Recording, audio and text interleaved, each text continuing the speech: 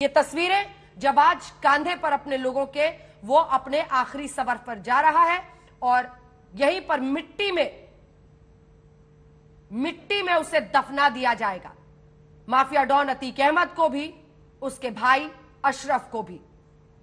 कब्र खुद गई है और वहीं पर दोनों के शव को डाला जाएगा। जो परिवार के लोग हैं, उन्हें आने दिया गया है। एक बार फिर से आपको बता दें, इस बात की आशंका ज़ाहिर की जा रही थी। जब असद को दफनाया जा रहा था, तब भी कि शाइस्ता परवीन, असद की माँ, अतीक अहमद की बीवी आ सकती है, नहीं आई। एक बार फिर से फरार बताई जा रही है और शाइस्ता परवीन के बारे में यह आशंका ज़ाहिर की गई कि वहाँ पर पहुँच गई है। कई बुरका पहनी महिलाएँ वहाँ पर आई थी। लेकिन पुलिस इसकी पुष्टि नहीं कर रही है। अरविंद ओझा के पास एक बार फिर से चलते हैं हमारे सहयोगी, जो लगातार वहीं से कवरेज दिखा रहे हैं। शव पहुँच गया है, कब्र खुद गई है, कुछ ही देर में दफना दिया जाएगा। जिस प्रयागराज को एक वक्त पर खौफ से डराया था, उसी प्रयागराज में आज दफन हो रहा है अतीक अहमद और उसका भाई अशरफ। लेकिन कंफर्मेशन नहीं हो पाया शाइस्ता के बारे में ना, अरविंद?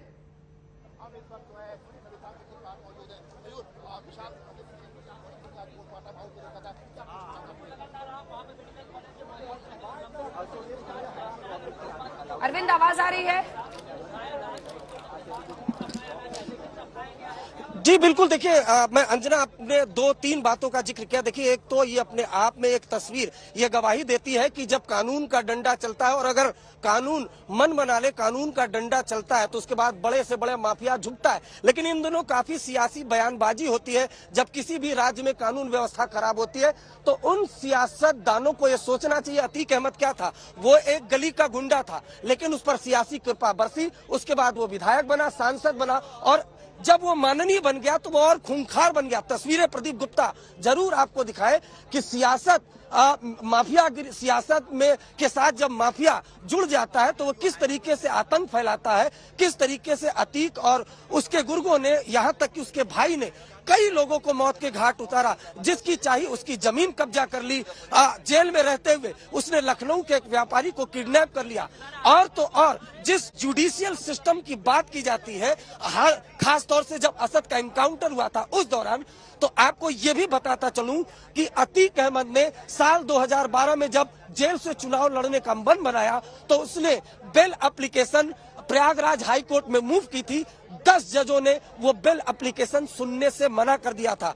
अभी कुछ दिन पहले ही हमारी एक प्रयागराज में तैनात डीआईजी रैंक के ऑफिसर से बात हुई। उन्होंने कहा कि अतीक से जज भी डरते थे। शायद यही वजह कि 10 जजों ने वो बिल एप्लीकेशन सुनने से मना कर दिया। ये अतीक अहमद का खौफ था। लेकिन इस तरह के अतीक अहमद जैसे लोग पैदा कैसे होते हैं, जब सियासी संरक्षण मिलता है, ये कड़वी सच्चाई है। और इस वजह से चकिया, जहाँ इस वक्त मैं मौजूद हूँ, यहाँ के एक गली का गुंडा जब उस पर सियासत की कृपा बरसी विधायक बना, सांसद बना, उसके बाद वो और उसके उसके लोग लगातार एक के बाद एक बड़ी वारदातें करते रहे। हालाँकि कुछ सालों से वो जेल में बंद था, लेकिन अचानक से वो जेल से साजिश रचता है और ऐसी साजिश जिससे योगी प्रशासन, योगी सरकार हिल जाती है।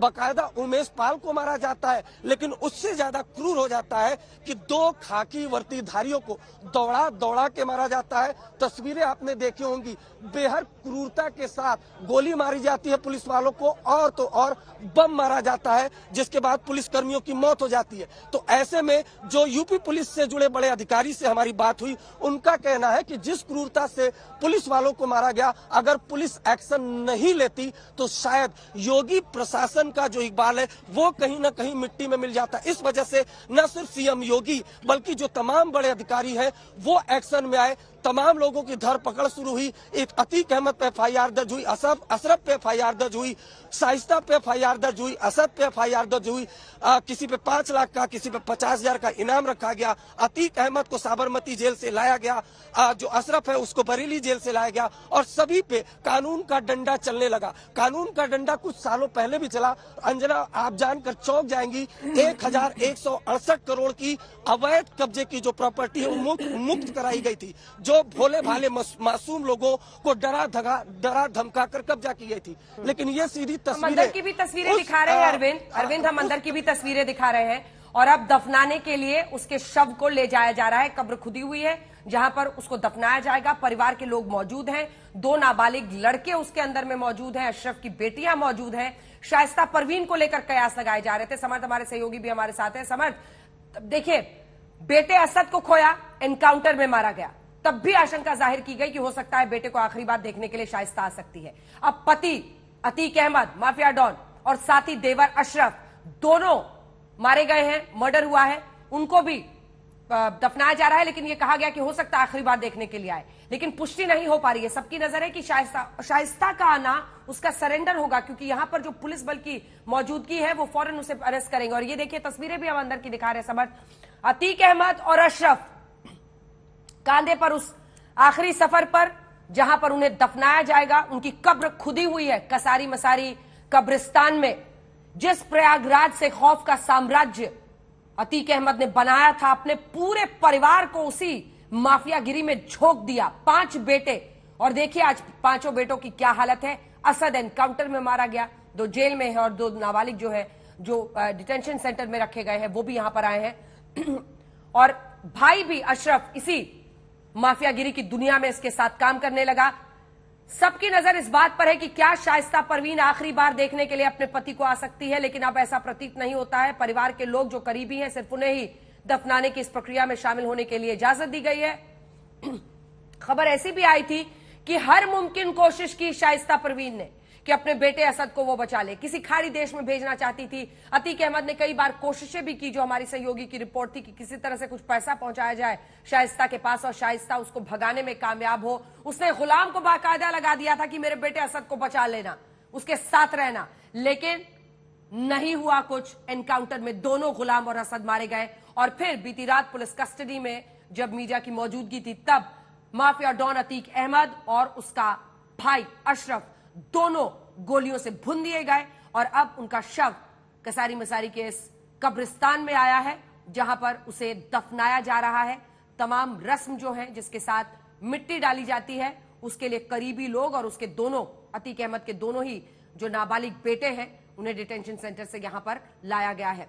कब्रिस्तान पहुँचा है अतीक और अशरफ का शव और मिट्टी में दोनों को अब दफन कर दिया जाएगा। समर्थ, जल्दी से एक छोटा सा रिएक्शन जिस प्रयागराज में खौफ फैलाता था, उसी प्रयागराज में आज मिट्टी में दफन।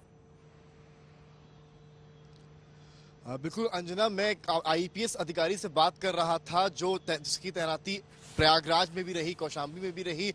उन्होंने कहा कि, आपने कहा इतना कि आतंक के साम्राज्य में परिवार को ढकेला।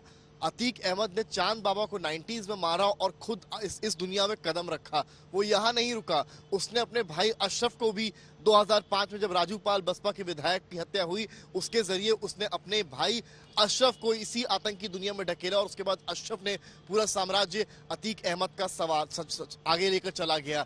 और अब एक और बार यही कोशिश परिवार ने अतीक अतीक एंड गैंग ने करी। उनकी मंशा थी कि इस बार असद को वो यही इसी तरह से लॉन्च करेंगे, एक लॉन्च पैड की तरह वो काम करते रहे। और उमेश पाल की हत्या के साथ वो असद को भी यानी कि पहले खुद को, फिर अशरफ को और इस बार वो असद को लॉन्च करना चाहता था उमेश पाल की हत्या के साथ। पर इस बार इस बार उसके मंसूबे कामयाब नहीं हुए। बुरी चूक हुई। सबसे बड़ी बात यह है कि शाइस्ता इस पूरे मामला में पूरी तरीके से जुड़ी रही। पहले तो उसने ये पूरा पूरे कांड में उसकी संलिप्तता पाई गई। उसके अलावा उसने असद को बचाने की काफ़ी कोशिश करी किस तरह से असद को छुपाया जा सके। उसने गुलाम का सहारा लिया। तमाम पैतरे अपना पर सारे पैतरे पूरी तरीके से फेल हो गए। और असर ये हुआ कि अतीक अहमद जैसा गुरगा, अतीक अहमद जैसा गैंगस्टर, वो ये कहने पर मजबूर हो गया कि मैं तो कि मैं तो मिट्टी में मिल गया हूँ और अब रगड़ा जा रहा हूँ और उसके बाद जब पुलिस रिमांड मिलती है और कल की रात जो होता है, वो सबके सामने होता है कि क्या होता है। हालाँकि उसको लेकर जुडिशियल कस्टडी मिल गई है, जो जो आरोपियों ने फायर किया है, पर जो साम्राज्य है, उसका यहाँ खात्मा हुआ है। कितनों की ज़मीन, कितनों की ज़मीन यहाँ पर प्रयागराज में अतीक अहमद ने हड़पी है, ये शायद उनका ही दर्द बता सकता है। शायद उनके पास उस वक्त कोई जवाब न रहता हो। सत्ता का संरक्षण हमेशा अतीक अहमद के सर रहा, अशरफ के सर रहा, जिसने उन्हें बेपरवाह बना दिया। उनको लगा कि शायद उनसे बड़ा कोई है ही नहीं और केवल एक ज़िले प्रयागराज की बात नहीं है। अतीक अहमद का वर्चस्व कहीं ना कहीं कौशाम्बी से लेकर फतेहपुर फतेहपुर से लेकर तमाम अन्य राज्यों में भी रहा। अभी भी कहते हैं जो पुलिस के सूत्र बताते हैं अन्य राज्यों में काफ़ी प्रॉपर्टी अतीक अहमद की है। का, काफ़ी लंबी बड़ी बड़ी बिल्डिंग्स अतीक अहमद की, की बनाई हुई है। तो ये साम्राज्य था ये एक दिन में नहीं बना। फाइव टाइम अब पाँच बार का विधायक, आप समझ लीजिए, पाँच बार का विधायक, एक टाइम का एमपी तो ये कितना पूरा एक साम्राज्य उसने इसमें स्थापित करा और उसने धीरे धीरे अपने परिवार को इसमें स्थापित किया। सबसे पहले अशरफ को और इस बार वो यही चीज़ असद में करता था। जो सूत्रों ने जानकारी दी, उसको असद में भविष्य दिखता था। उसको लगता था कि वो असद जो है, अतीक और अशरफ की तरह ही उसके साम्राज्य को आगे लेकर जाएगा, पर किसी ने सही कहा है अगर रास्ता आप गलत चुनेंगे तो शायद हश्र यही होगा और आप मिट्टी में ही मिलेंगे और आज का हो रहा है तस्वीरें जो दिखा रहे हैं बिल्कुल तस्वीरें हम दिखा रहे हैं जहाँ पर अब दफन किया जा रहा है अतीक अहमद को। ये उस कब्रिस्तान की कसारी मसारी की तस्वीरें हैं। यहीं पर असद को कल सुबह बीते दिन सुबह में दफन किया गया था और आज पोस्टमार्टम करने के बाद दोनों को यहाँ पर दफन किया जा रहा है।